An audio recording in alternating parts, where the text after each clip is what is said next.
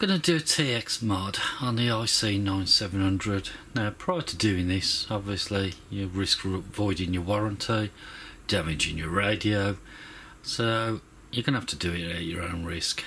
But effectively all you're going to gain is an extra 2 meg so you'll be able to go from 146 to 148 megahertz on the 2 meter band uh, which is quite useful because with enough variation on your license you can use between 146 and 147 in the UK. There is a slight extension I believe to the uh, 77s band from 440 to 450 meg.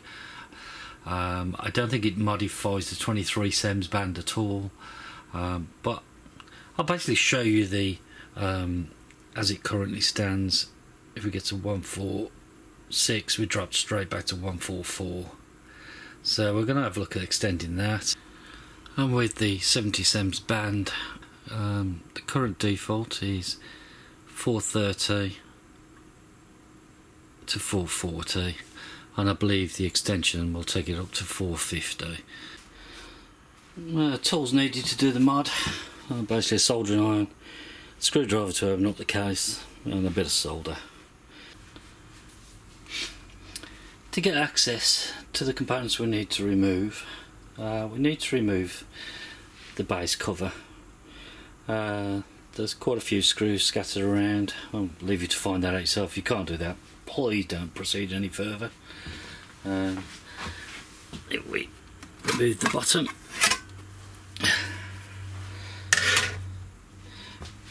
This is what we have. To achieve this modification if you have this is the the base removed. This is the front of the unit. So if we look now on the right hand side there's a bank of diodes. The diodes that we're interested in removing I can just zoom in. Without going out of focus bear with me. We need to remove this is from the right hand side on the is the very first diode miss the second row and the third diode. So we need to remove one and three I'll say from the right hand side. That's all we need to remove and that should then give us the full TX mod. Now this is not something I'm going to be able to do on camera. Um, it's very very I want to be very careful what I'm doing when I'm doing it so I shall show you what it looks like. Well you can see what it looks like now and then once I've removed the diodes I'll show you what it looks like afterwards Okay, let's look at removing. Just using a basic soldering iron tip, um, a little bit of solder on the end. I'm sorry if my hands get in the way here, but these are very, very small.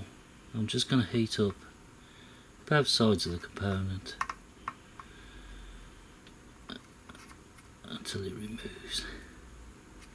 So that's the first one removed. You can see the component there, hopefully.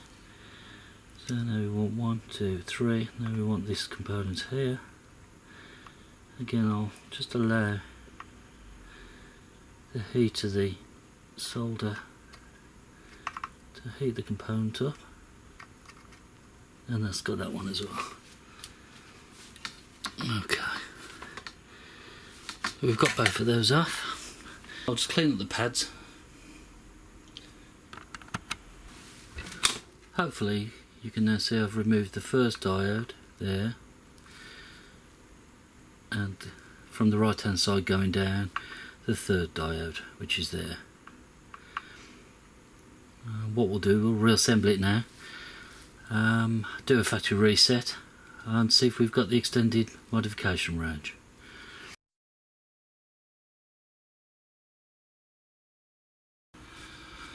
Okay let's power him up Oh, that's a good sign. Okay, so before we get in 144 up to 146 I believe, so if I skip back one now, we should go 148. Yeah, so we've got the 2 meg extra on the 2 meter band. Let's have a quick look on the 77 band, and that was to that should go up to 50.